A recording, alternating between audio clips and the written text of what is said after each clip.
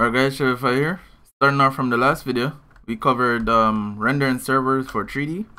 So now we're gonna cover 2D. So all these textures are actually just rendered with the server. So I added a counter up top, shows how many nodes are in the scene. And that's these two nodes are just the canvas layer that's holding the label itself and the camera that I'm moving around. Okay, so here's the same thing again, the same setup but now we have we're nodes. So that's 53,000 plus nodes. All of those are sprite 2ds so let's do the same thing as usual. Let's start with one single sprite alright guys so what we need to do is first we need to create a canvas item. That would be um its representation like the RID that's creating that RID then we need to set its parent. That would be the whatever node we're using currently maybe the one that the script is on if it's a node 2d as long as it derived from our canvas item. Then we need to add its texture, whatever texture you want to add to it. Next, we need to set its transform. So that's it for the most part. So let's do that. Alright guys, same thing as usual.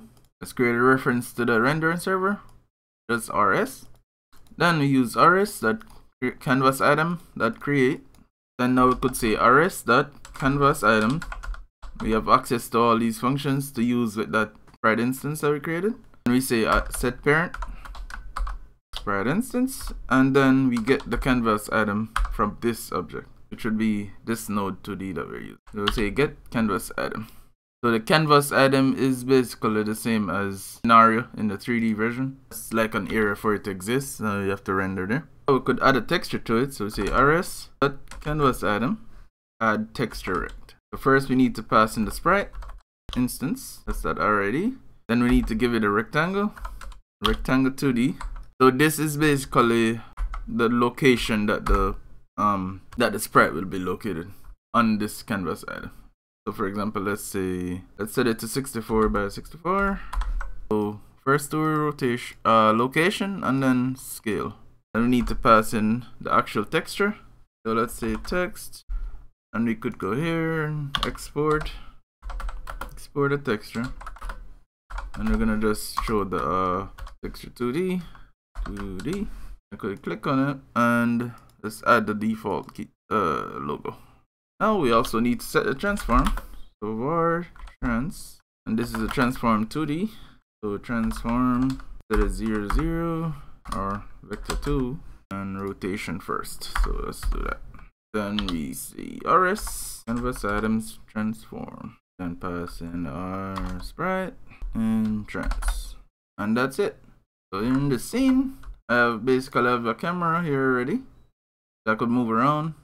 And my label and my sprite single sprite root node. So this is the node that the code is on.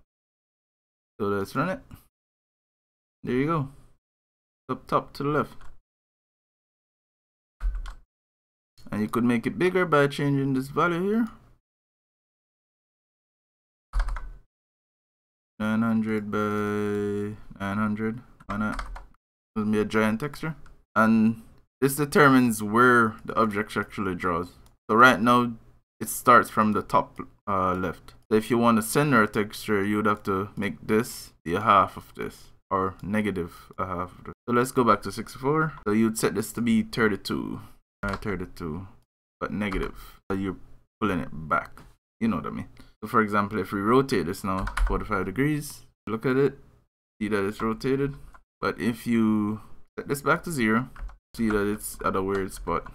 I wish there was a way I could put the zero position, but get the idea. So that should be it for this. We also have other things we can do with this thing here. So for example, could draw a bunch of shapes. Here, you have a bunch of shapes here. You could do this with the draw function on any node 2D as well, but you have that option here to do? And the way I do that is these functions here. Add circle add line add rect add polygon and a bunch of stuff like that. And right here I'm just doing a polygon. So I'm just copying these values and moving them to the left or to the right. And then I just add that for the polygon. Move it over where you saw before. And that should be it. So if you want if you guys want to see what I did for server basically the same thing here draw grid I passed in the value and right here just doing the same setup again. Remember we append, I'm appending this canvas item that we create. And we can do that. Then we need to delete it as usual. Remember to free RID. Go back to here, do it again. So func, three, three, under server, dot free, RID, right instance. And that should be it for this tutorial. Let me know if you want any help in the comments with anything. Like and subscribe. Here goes.